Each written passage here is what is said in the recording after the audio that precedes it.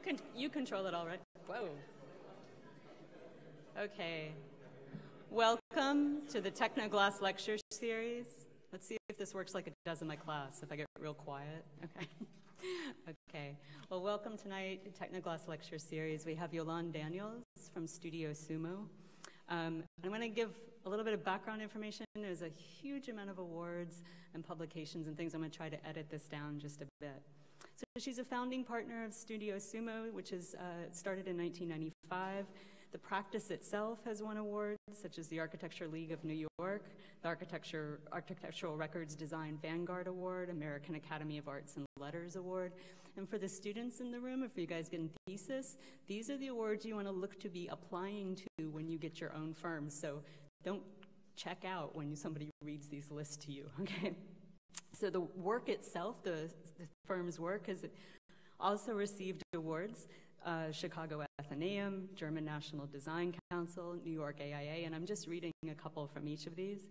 And it's also been exhibited in places such as the Venice Biennale and MoMA. She's a, Yolande is a fellow of the American Academy of Rome as a recipient of the Rome Prize in Architecture. She's also a recipient of the MacDowell Colony Award. Uh, it's sort of like an artist colony in Peterborough, New Hampshire, which I'm really jealous about. And she also is an independent study program at the Whitney American Museum of Art. Her architecture degrees are for Columbia University and City College, CUNY and she's been a faculty into teaching architecture since 1991. And again, I'm only going to list a couple of the schools, University of Michigan, Parsons, Columbia, Washington University. She was the Silcott Chair at Howard. And she's at, also at Josai International University in Japan in the departments of global and women's studies. So also think about getting outside of architecture a little bit. She's now a visiting professor at MIT. But I have one personal story. I met Yolanda about 20 years ago when she was teaching at Michigan.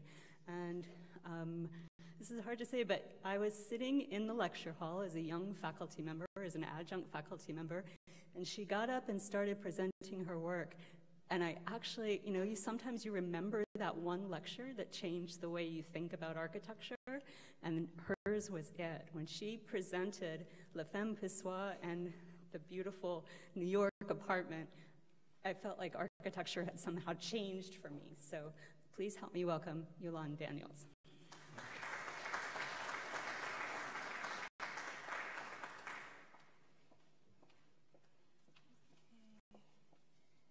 Um, well, thank you, Kathy, for that wonderful introduction. Um, and uh, thank you, uh, Adib. Um, uh, Rudolfo. Um, it's really nice to be here. Um, the last time I was here was for a review, um, and I think it was a, a rainy time, um, and I, I, think that was maybe about 10 years ago. So it's really nice to return again um, and, um, and kind of uh, get to know people a little bit uh, better at the school. Actually, one of my former students is here from WashU. Um, that's really great, Hannah. Um, so I'm gonna um, I'm going to show uh, one project, but it's one project that's gone through um, different um, gener uh, generations um, because the theme is housing. So um, the project is the iHouse dormitory. Um, and I'll kind of go back and forth a little bit. Um, so Studio Sumo um, is uh, my practice with my partner Sunil Bald. We're located in New York City, um, and we have a practice where we uh, have been working on um, in cultural institutions, uh, with cultural institutions, arts institutions, education institutions in culture, and then um, some residential work, some work with the city of New York, and we, we are both um, academics. Um, Sunil teaches at Yale, and right now I'm at MIT.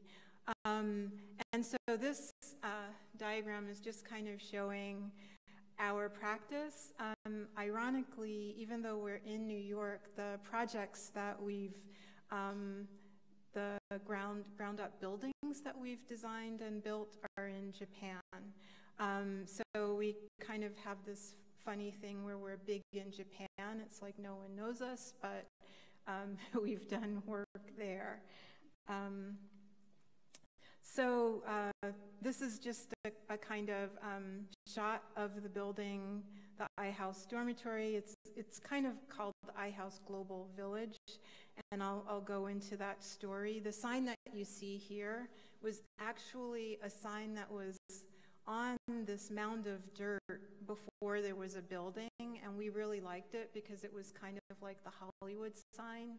So we had to get um, we had to go through a lot of hurdles to get permission from the city to um, mount the sign permanently. It was a, a, temporary installation that was like just a, um, advertising for the school before they had the building built. Um, and eventually um, they got their approval and it was able to stay there. So Josai International University um, has students from all over the world. Um, they have students from South Korea, China, uh, Budapest, Hungary, uh, Brazil, um, California. Um, their, their kind of mission is a global mission. Um, what you're seeing are uh, studies that we did um, with their logo, the J, logo, the JIU logo, and um, maps of the different countries to use in locations at the university. One of the jobs that we have with them whenever we do a project, we've done three buildings um, so far in one renovation. Is that we often have to do, um, we have to kind of make a pitch for the building, which is like having a really clear concept. Um, and then also we have to help market the building. Usually we make a logo. The building itself is kind of a logo. Um, and we play with the university logo. Um, so Josai International University is actually the sister university to Josai University.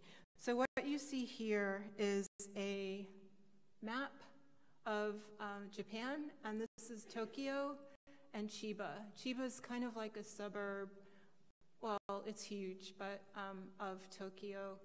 And um, this university, Josai University, has campuses. So this map over here is showing different campuses. It's really hard. Uh, let's see. This is the campus where um, the dormitory is. It's um, near Narita Airport, um, but they have other campuses, one in Tokyo, they have um, one, another suburb of, of, Tokyo called Sakado, and they have um, a campus uh, on the shore down here. It's kind of like in a beachy town. The map at the bottom is just like the access map, which basically shows um, how you get to, um, it's a commuter school. Um, it's a commuter school mostly from Tokyo. Um, it's about an hour and a half away. This is um, their uh, campus brochure. So it's, it's all modern concrete construction, um, really just kind of austere but beautiful modernism. It's concrete that's painted different um, shades of blue and uh, purple, which are the school's colors. Um, and so basically, what's important for you to see here is that the, oh, okay. So this is the main um, walk of the campus. And over here, the campus has started to expand.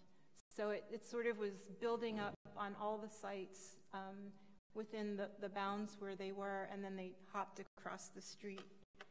Um, no. no, I'll, I'll show another map. So the campus is surrounded by rice fields and um, Japanese suburbs, uh, they kind of look like American suburbs. They have A-frame houses. Um, some of them are kind of McMansion-ish, but they are surrounded by rice fields. Um, it's really kind of beautiful pastoral um, scene. So, what that other map didn't show you was this is the main street of the campus, and this is the, the kind of main bounds. And where this yellow, uh, sorry, red circle is, that's where the dormitory is. So they basically hopped over the street and started acquiring more property. So the university is actually acquiring property all around their, their kind of central location. Um, you know, they're a little bit like, um, well, just typical universities, I guess, where they're um, surveying the land around them and looking for places to expand. So um, this is the site where the dormitory ended up on the upper right-hand corner, and below it is a sports field um, where they, um, they built that first. So when we started this uh, building, um, there was the idea that it wouldn't be like a traditional dormitory with a um, like single or double loaded corridor.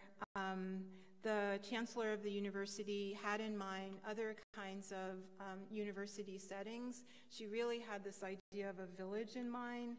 Um, she wanted to um, to kind of have uh, like house identities that the students would um, would uh, belong to and identify with and have this feel of a village. So we started with the idea of a community, um, maybe like a family of houses um, and outdoor space um, and this kind of infrastructure of the street that would link to the main campus. So that, that was the kind of idea of the village that she, um, she brought to us. So we started this project in 2008, um, and at that time it was actually in a different campus. It was on the Kamogawa campus, which was the one on the, the seaside. Um, and I think part of why uh, the village model um, kind of took hold there was because um, it's not an urban context. It's a context where the buildings are low-lying, more like mat buildings. It's more open to the landscape, um, and so it made sense. Um, so we started looking at, uh, these are, are just like initial approaches to program, where we were looking at percentages of space that um, parts of the program would occupy, whether it's like circulation or um, the, the kind of sleep spaces for the students. Um, I can't really read that. Outdoor space, um, common space, wet space. So blue is sleep, uh, brown is wet, orange is circulation, yellow is circulation, orange is common, and green is outdoor. So we were looking at first like um, different percentages that we could allot to these things.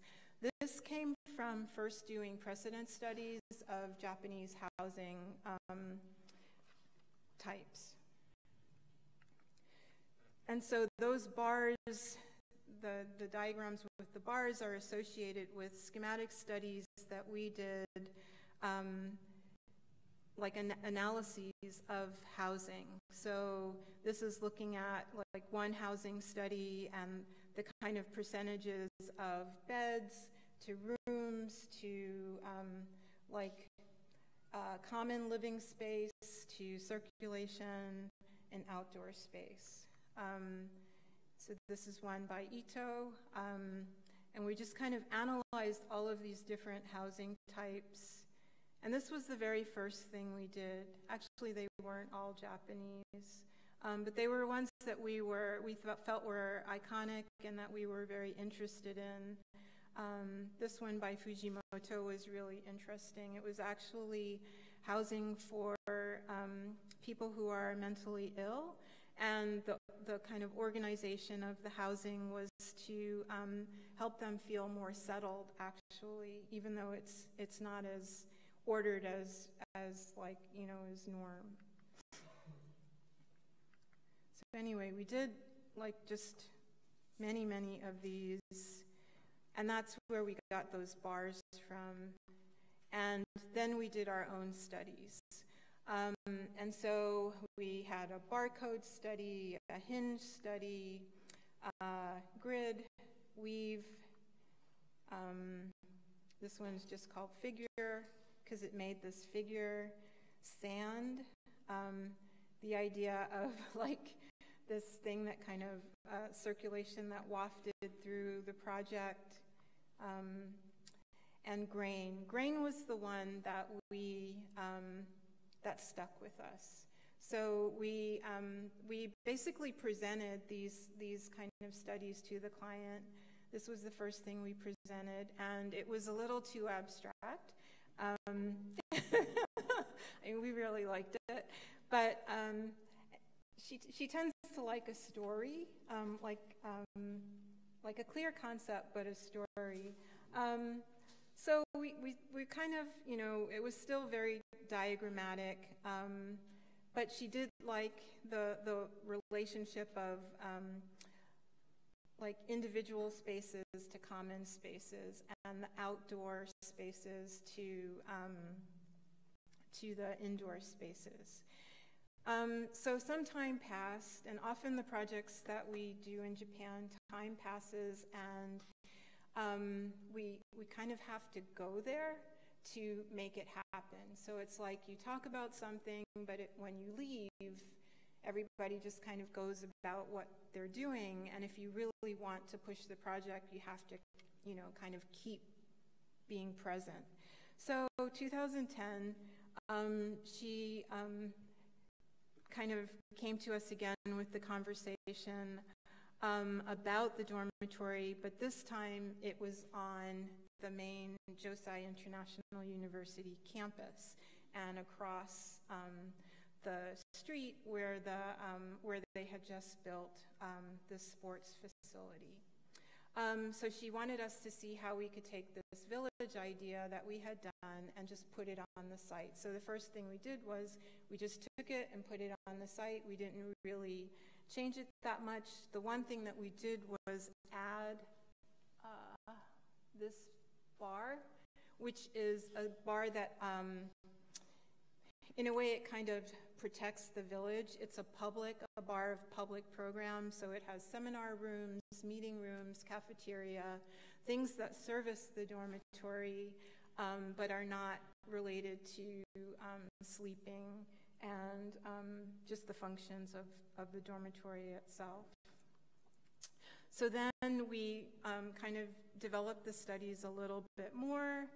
Um, these are like units, like separate units. They're all efficiency units that are um, kind of grouped together around a, um, a, a, core, which is um, a core of services, and then also outdoor space. So what you're seeing here, the orange is living room, the um, greenish is like service and outdoor space. And so basically over here is like that's the orange and then the service is in this bar and also the courtyard is there. Okay, so we kind of developed them, put them together um, to make instead of like one family, more of like a community. Um, we had the idea of like the outdoor living room, so the long bar, oops, the long bar here, that's the outdoor living room. And then we kind of put them together and it kind of zigged a little. So there's the main circulation space, and these outdoor living rooms, and then the living spaces that, that kind of open out onto them. And it's a, a two-story um, complex, so um, like there's the idea that like, uh, well, in, in the efficiency, we also had to deal with um, students with different economic means. So, um, so there were some units that would be um, a little bit um, nicer than others. And then this is just the, the kind of plan of it with the internal street. So back to that early diagram where we had the street and then the kind of blocks off of it. This is the public program, which acts as a buffer to the living, and then in this direction are the rice fields. So this direction is the rest of the university and this kind of major street. So that's why the public program was placed there. Um, and this is just a plan showing uh, the development of, of the bars. And these are some views.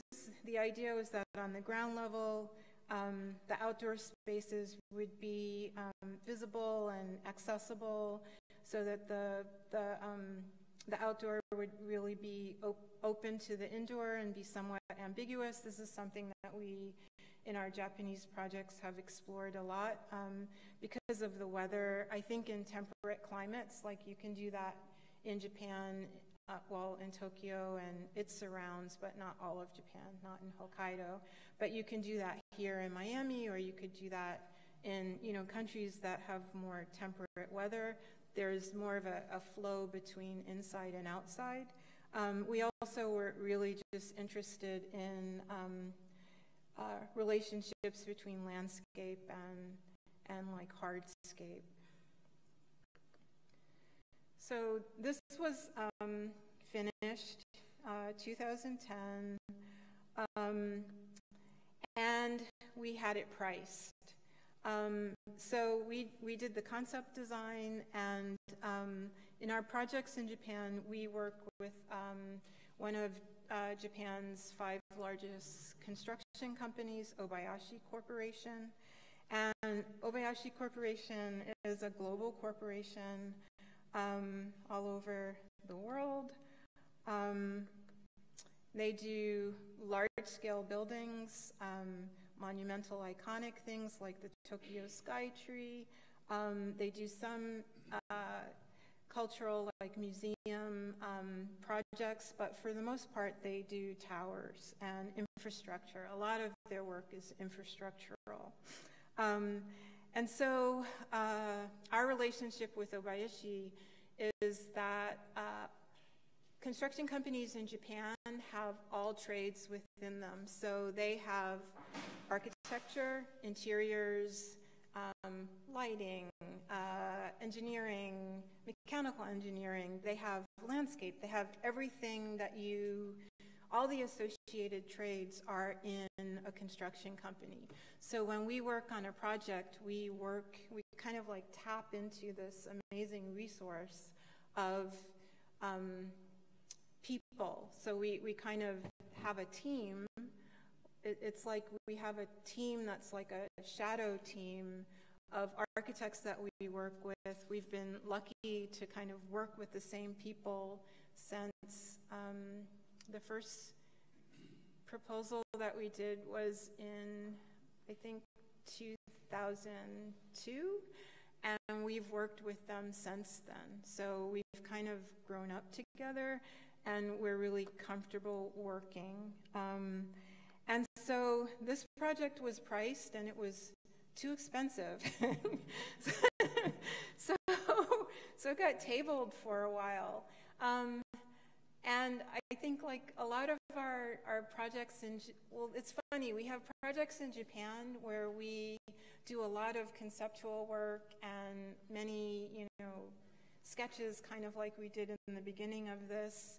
Um, and it just kind of has a life and then it comes back and you know maybe it comes back again or maybe it dies and then we have other projects where somehow the time is just right and the client asks us to do something and then it just gets built right away so this project languished from 2010 to 2014.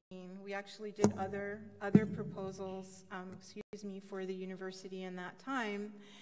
In 2014, they asked us to look at it again, but with cost savings in mind. So we um, kind of, you know, went back to the the, the edict that we were given addition, uh, uh, originally, which was, you know, we, we don't want a traditional dormitory, and then in the end, that's what it had to be because the most cost effective, most efficient is a bar.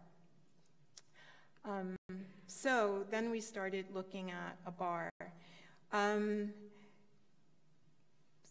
so there were, I think, like a few, maybe like um, three spatial moves with the bar. One was that we wanted to um, kind of like punch a big entryway out of it. Um, and then um, it had an international center, um, which consisted of a gallery and um, meeting, like kind of conference meeting, cafeteria, spaces, basically all the public program kind of the public program that um, we had put separately before had to be on the lower levels of this, um, this housing block.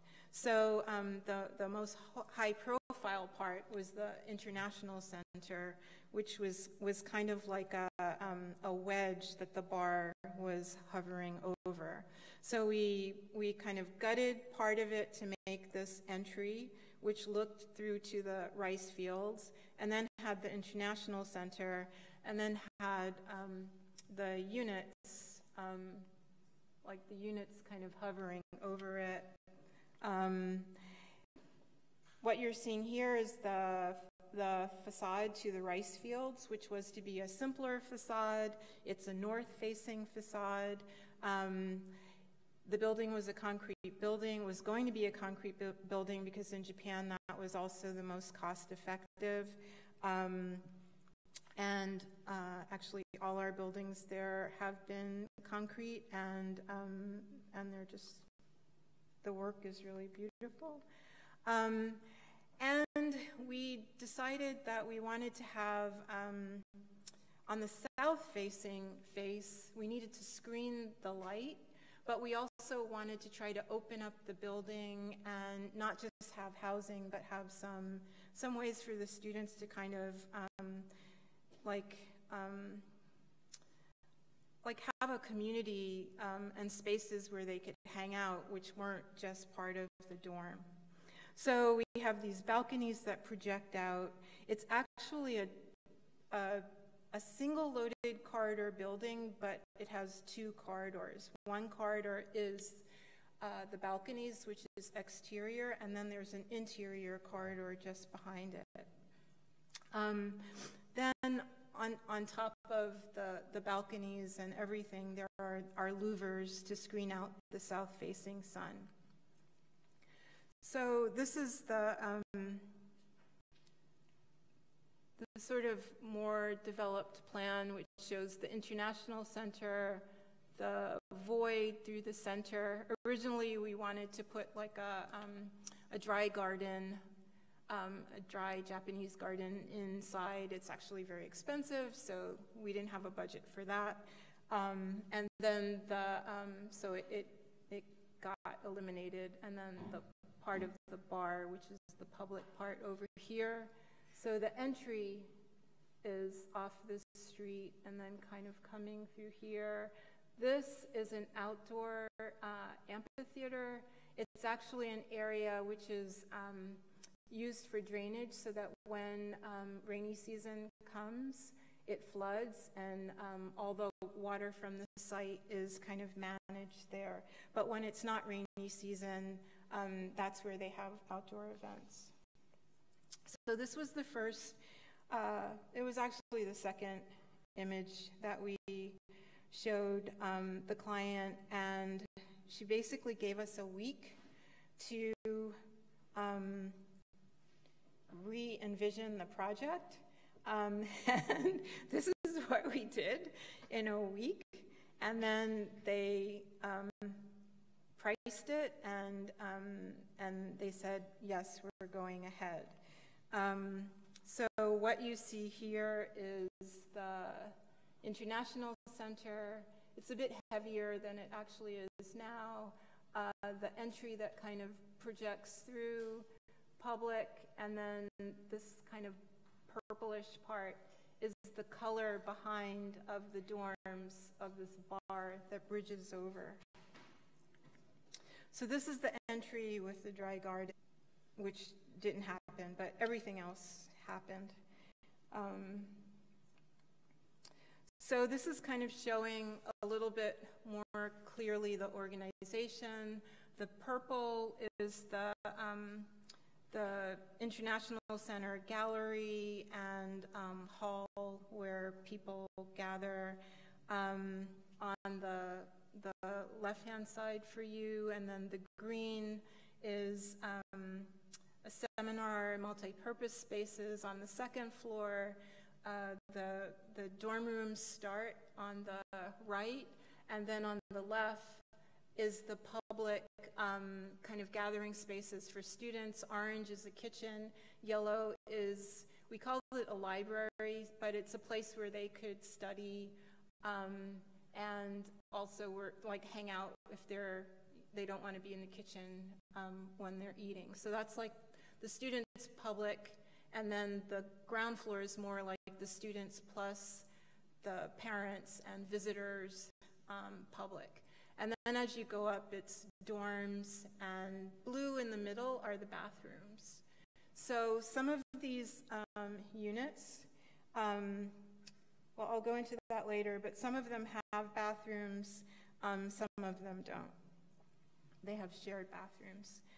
Um, so this is just a shot of uh, the, the slabs being poured um, and the very organized construction site. Um, while the building was, was being constructed, um, we started to work on the interior. So like you kind of make the, the the scheme for the concept, and then you start to develop it in stages um, as it's being constructed.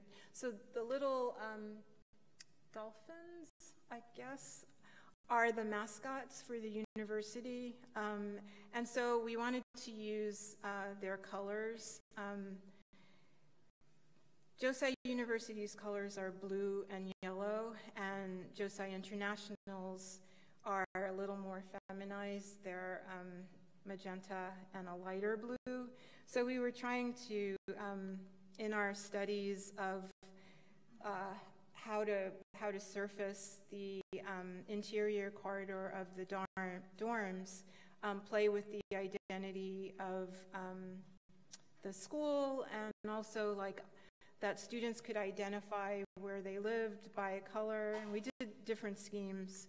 Um, in the end, we ended up with the most um, simple, um, like just blue throughout. So 2016 was when it was finished um, uh, being constructed, and 2017, um, kind of like in the mid 2017, it was occupied. Um, so this is the plan from above. And that's the actual building in its site, right there. Um, so this is, you know, the way you enter, and then you can kind of pass through, and, and you can see the rice fields surrounding it here, and the sports field, which is like very, very green in comparison. So this is um, the view um, from the the kind of Hollywood Josai International University sign, um, looking through the, the center, and then kind of moving closer. So in the development of this project, um, I guess like things I could talk about are, um, I think you can kind of see like the texture of the concrete, um, the bridge. Um, so the texture of the concrete was um, made by using wood, um, like wood that, like rough wood, um, that would leave its texture on the, um, on the concrete. So this technique had been used, it's a very traditional Japanese technique, and we could only use it in parts of the building. So it was only used on the first floor and the um, kind of walkway of the International Center because it's much more expensive. The rest of the building is, is kind of more standard um, concrete. Um, then the bridge, um, we kind of went back and forth a lot with the engineers because we wanted the bridge um, to be less visible in the hole, but it's a very long span. So um, the engineers, because of like um, in Japan, earthquakes are an issue. Um, they wanted us to just, we, we kind of have to over determine things, so it had to get bulkier and bulkier. Um, and we, we lived with it. Um, the, the other thing that you're, you're kind of seeing here, so, oops, sorry, I'm a little messy with this. So this is the bridge that connects people from the dorm over to like their kitchen and their hangout spaces. There's an outdoor deck here. Um, this is not really a projecting balcony. It's like a, an entry onto the deck. So this is one of these things in the design that um, we thought was a good idea when we were doing it and we weren't really sure it would work, but it did. Um, so often there are these things when you're doing a design where you're not really sure how to do it, if it's going to work, but if you work hard enough, it actually does work. Um, so the space that I was talking about is this space right here, where, um, and it could have gotten valued engineered out, but actually Obayashi worked with us to make it happen so that um, you could actually enter and exit through here. Um, there's also a normative way to move over there. So here you can see, um, like, uh, this is a breezeway. Here you're outside, here you're inside. Um, let's see, what else can I show you? I think you can see the double corridor.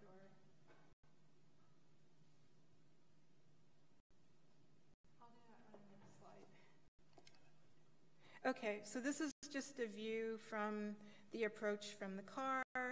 Um, you can kind of see how the International Center um, here, like we made it more open actually than when we first drew it, more open and inviting. Um, and on the other side is a garden. Um, there's a gallery, a garden. Um, so this is the main entry where um, parents and people who are taking classes and things come students would probably enter from the, the right end. This is just kind of coming in, and you can kind of see a little bit of like the projecting balcony. Um, and let's see, when we did the balconies, we wanted to have all of this open. Um, but we, um, and so we first designed it with it open with like a light rail um, but in Japan, there's a real phobia of students committing suicide. Um, so we actually always have to be careful when we design handrails. So like these handrails, um, you know, none of the handrails can can be. Um, they can't be like super light or anything. They can't be something that someone could easily like fall over or jump over.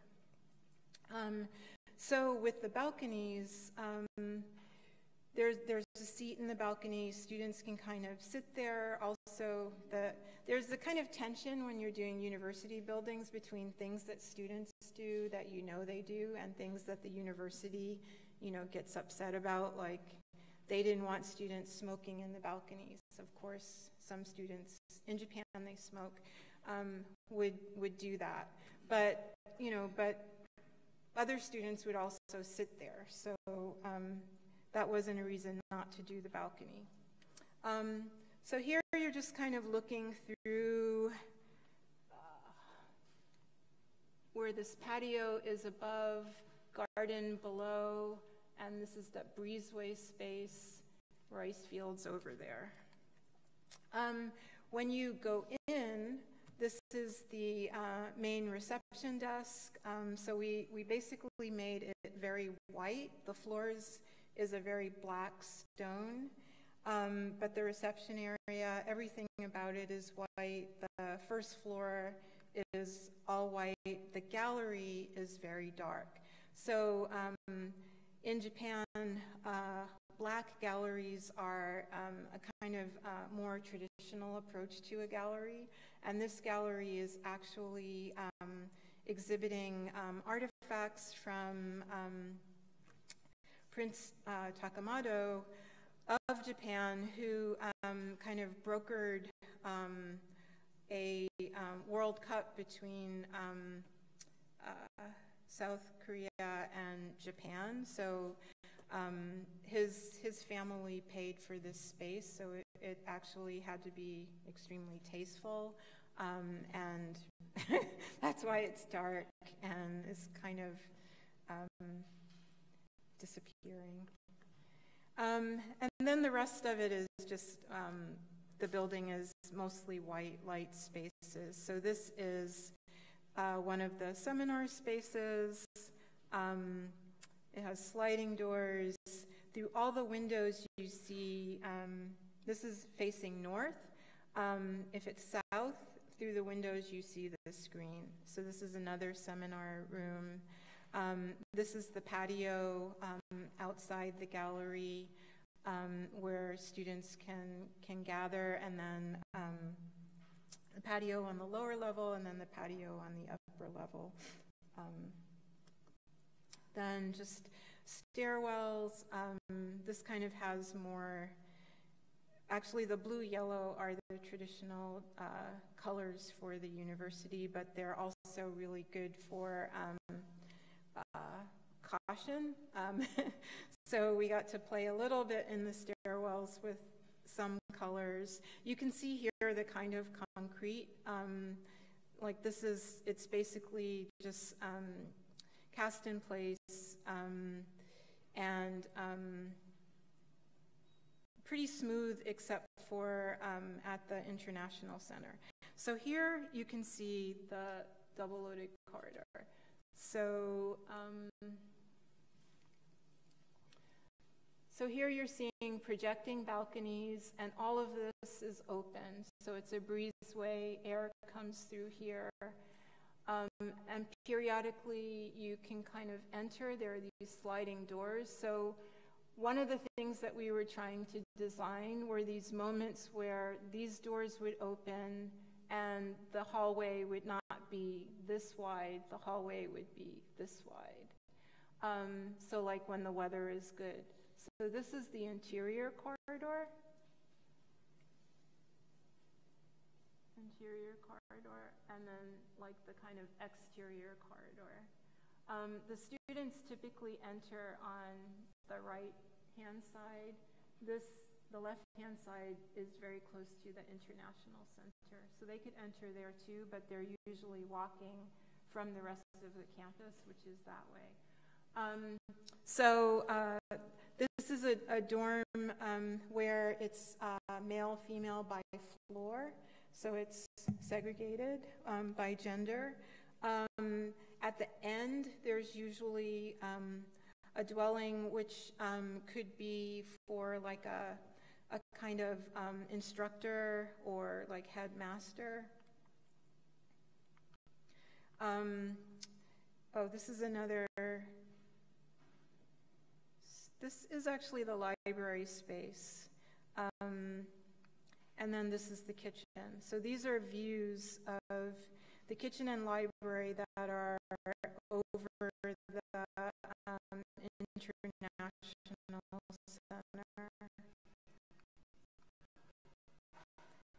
and the balcony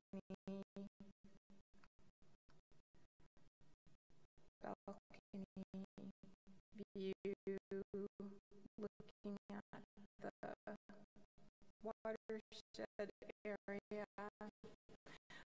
Um, and then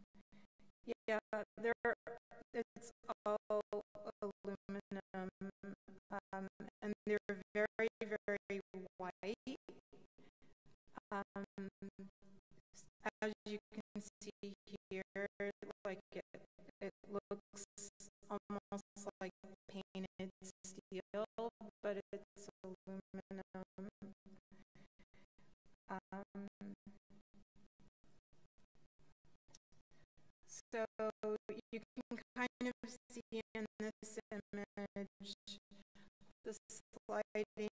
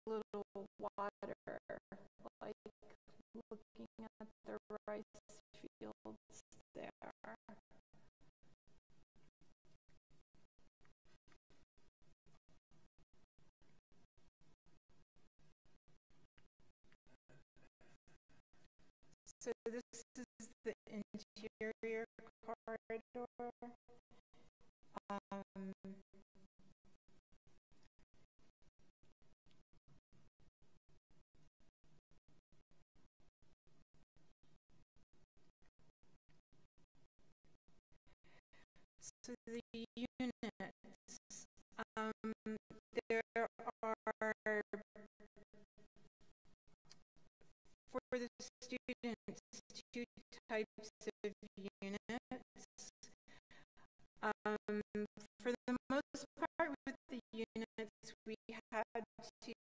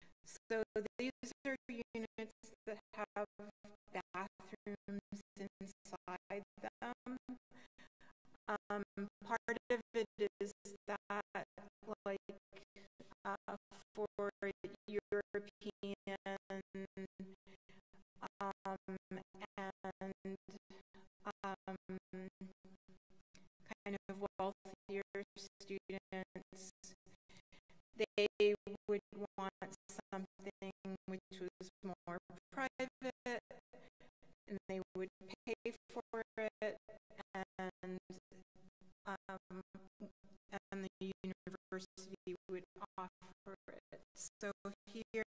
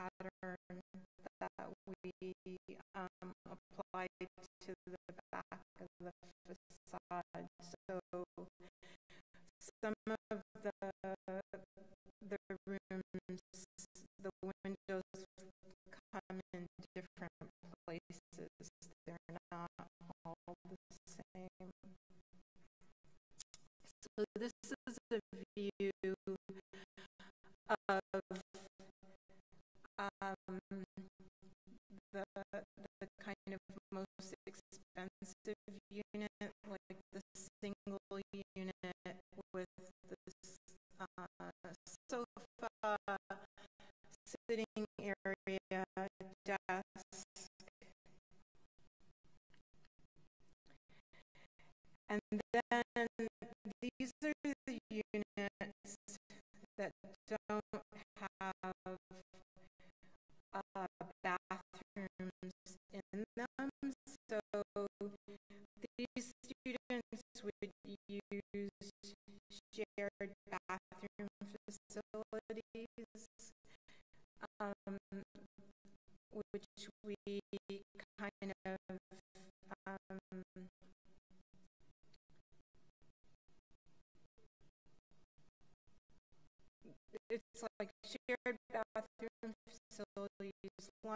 facilities, all of the services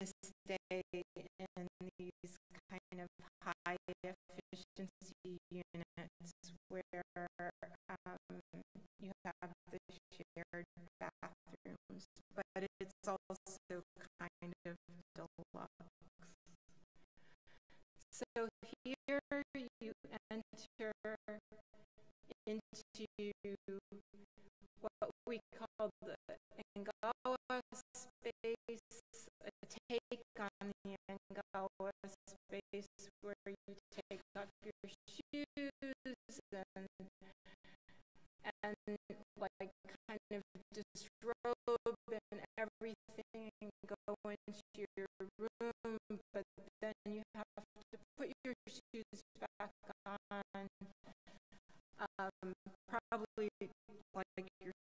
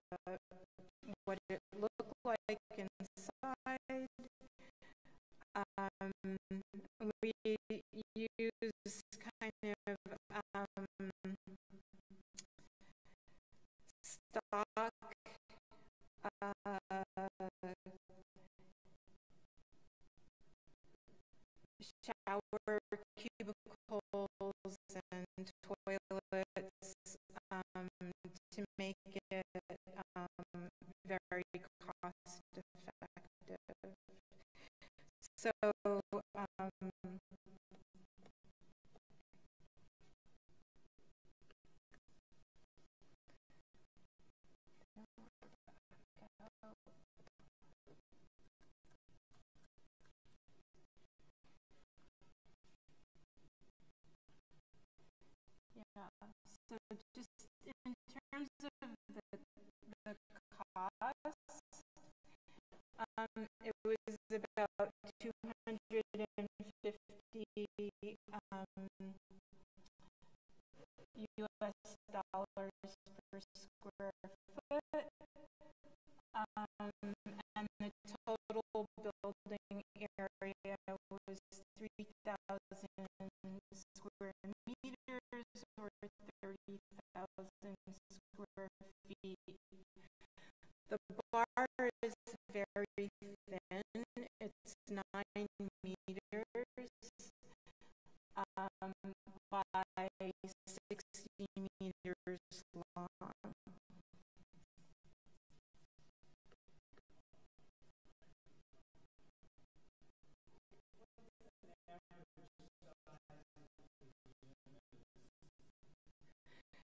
So the average unit size is um,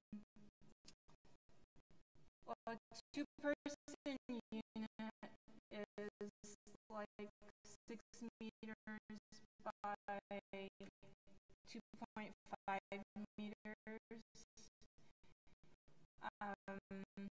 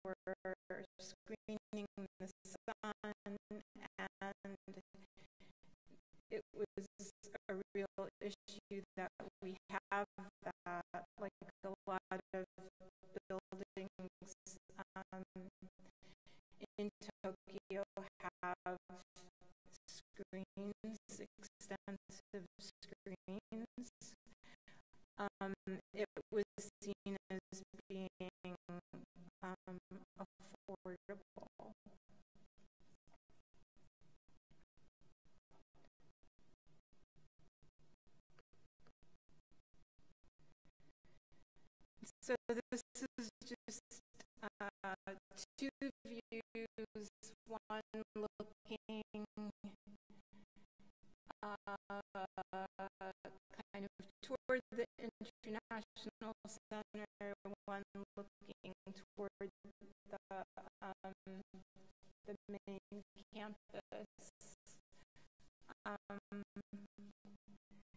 from the outside of the project.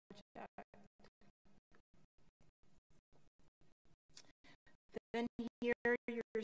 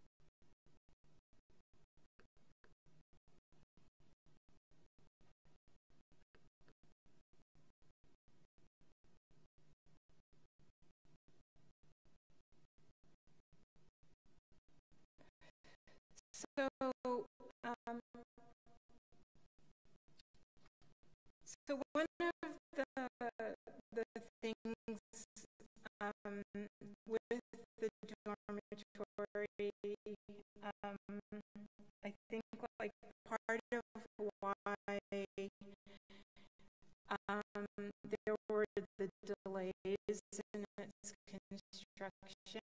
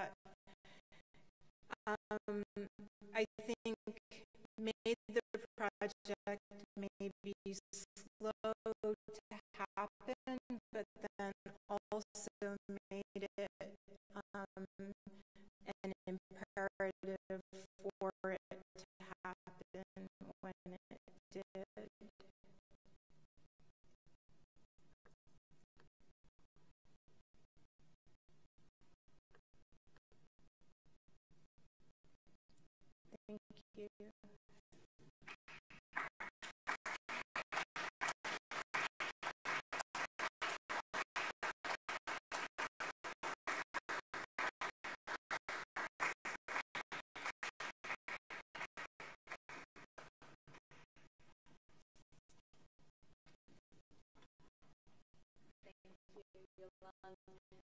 So I'm going to be joined by Samira Damashkar, who's going to bring her. We're going to have a little conversation, and then you, and you guys will ask questions as well.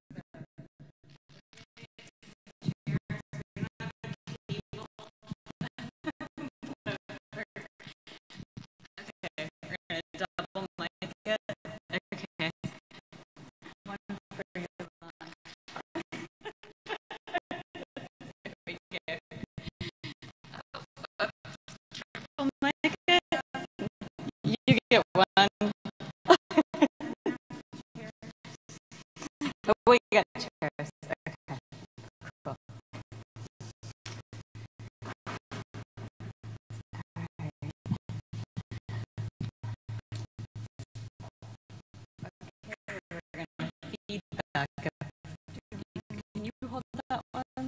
Yes, okay.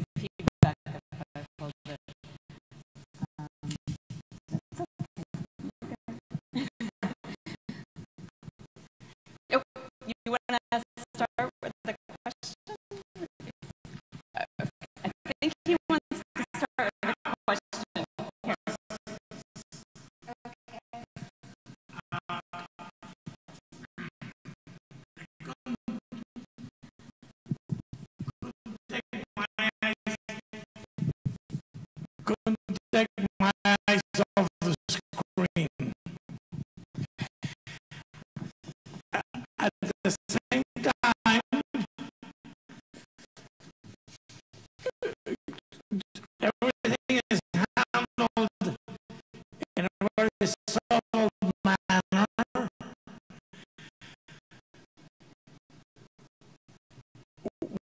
which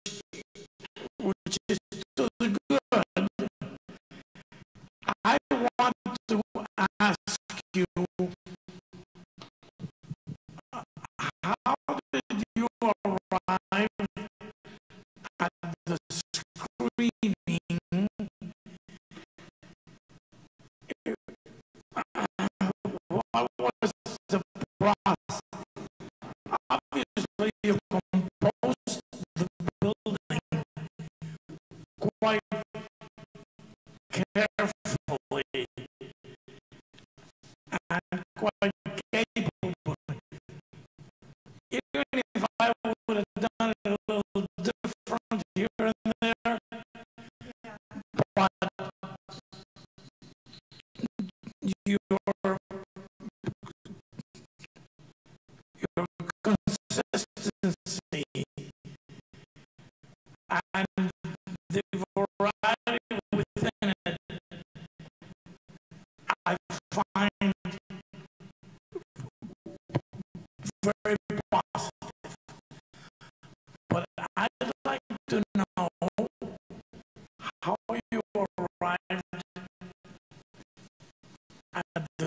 screening because I find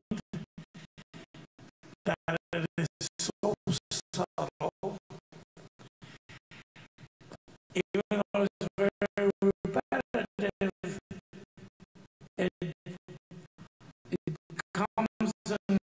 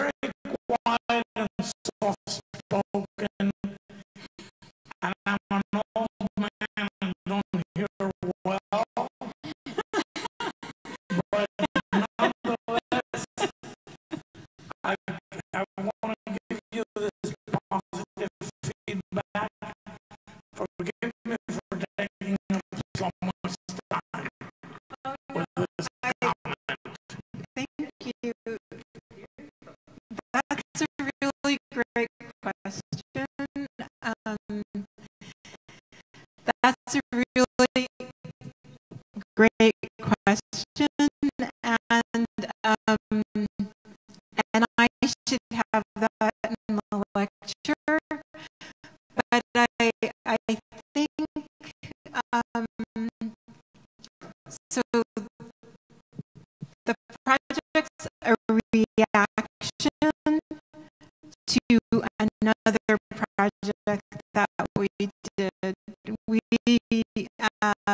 we had um, built a museum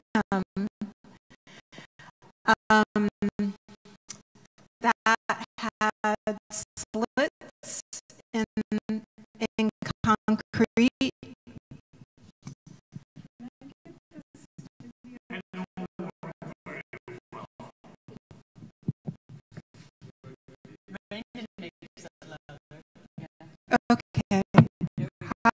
I I'll, I'll try to talk louder. That's a little louder, right? So, um, so we had uh, worked on a museum for the not that campus, but the same university um, another campus, and it was a concrete building, um, kind of cantilevered, like angled building. Um,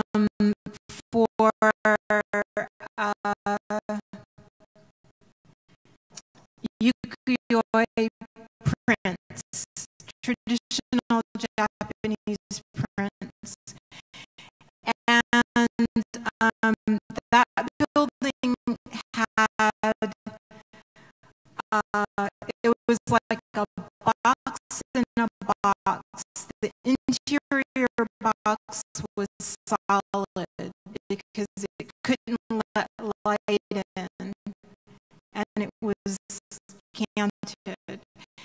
And then the exterior box had slits and let light in. And, and we spent a lot of time designing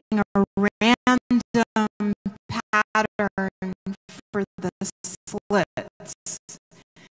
Um, I, most of the Japanese projects, we kind of work with the idea of random patterns, like randomness. Um, and it's interesting because randomness um, actually not random when you have to design it. Um, it may look random, but it's not. You have to design it. So, so that that building was concrete, concrete with slits.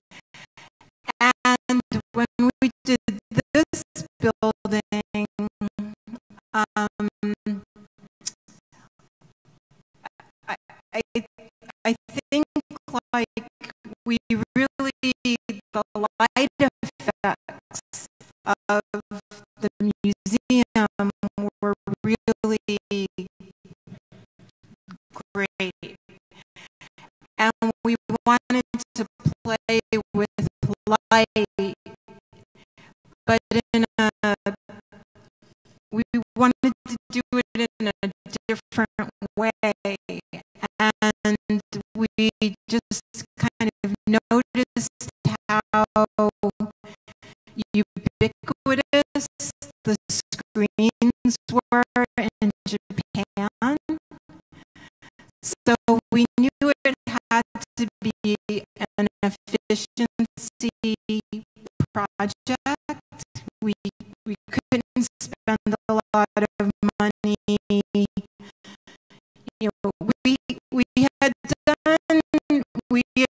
Tried to like have more lavish public spaces, double height, you know, open spaces,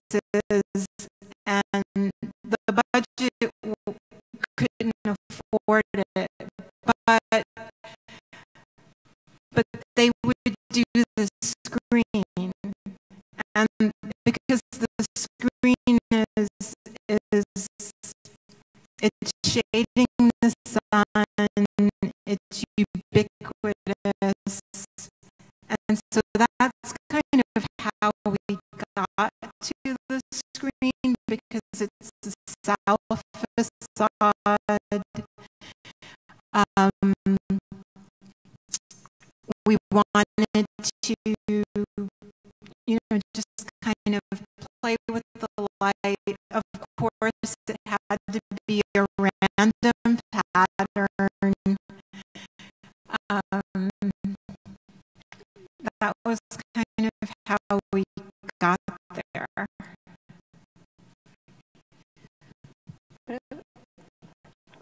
Thank you for asking.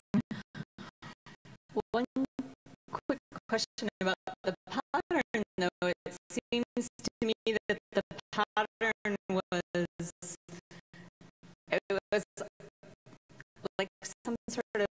subconsciousness of the grain coming back into the project as though the grain had wrapped itself up the facade from the earlier plans. So I was reading it as though you were taking some of the earlier ideas of grain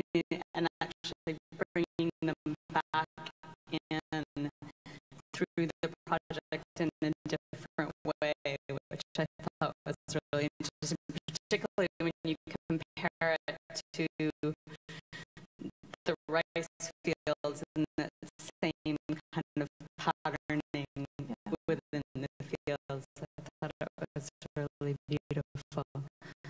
So, Samir, I I have another question that is like more theoretical based and uh, so it's about like in your work you talk about the theorization of power and race and gender. So I was thinking, like, I thought that dormitory would be like your presentation was very comprehensive, and thank you for that.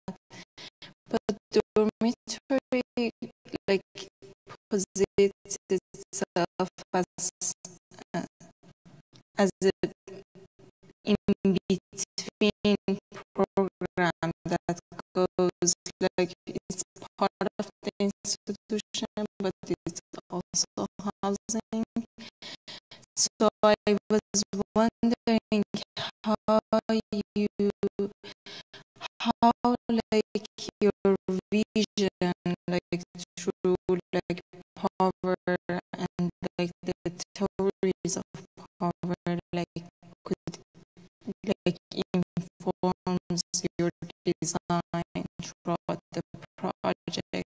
Because as you said it's uh, like an international school and you get like different people coming in. So I was just wondering if it affects or if you can like I know like all the limits of like the um, the budget was wondering. Well, I think you're kind of speaking more to like um, to culture. You know, like maybe cultural limits, and um, it's a segregated building, right? Like there are, it's male floor, female floor. Um, they are not supposed to be mixing.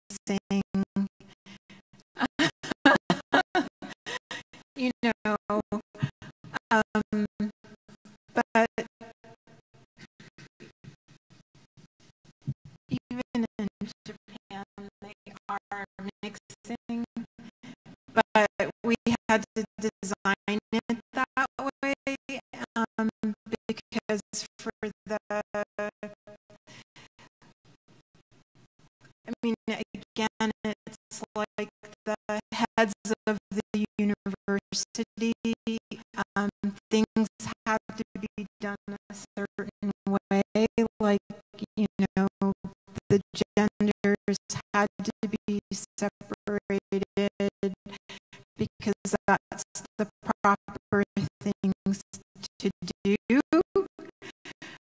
Um, even if that's not actually what people do. Um, so I, I think in like in answer to your question, like uh,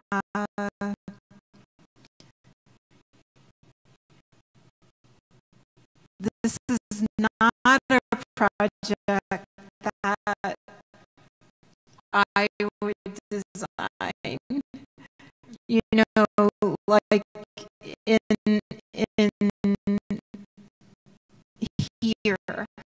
like that I would would kind of um, question, you know, gender roles or things, you know, it's not what I kind of do in, like, say, research work that I do here.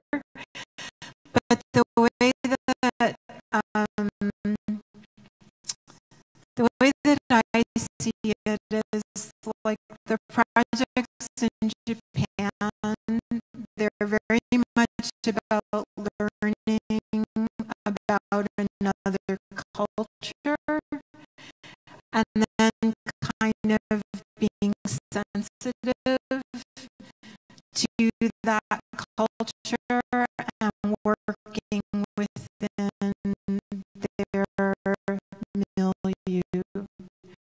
So um, there have been a few instances like these